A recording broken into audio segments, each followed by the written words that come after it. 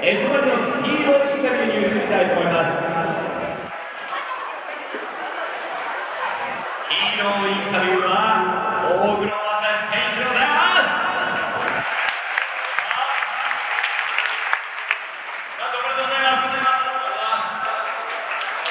えー、アウェイでの浦和戦で移籍後初ゴールそして今日ホームで初ゴールとなりましたいかがでした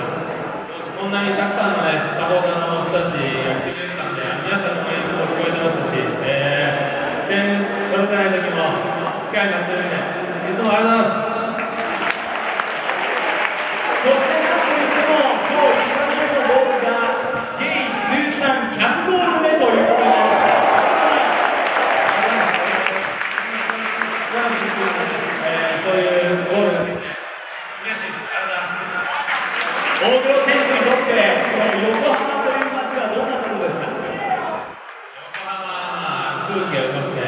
あの、チームライブで、そうですし、サポーターも最高です。多くのサポーターが今日大黒選手のゴールを望んでいましたそして2ゴールを決めてくれました、えー劇的な勝利となったわけですけれども多くのサポーターに最後メッセージを一言お願いします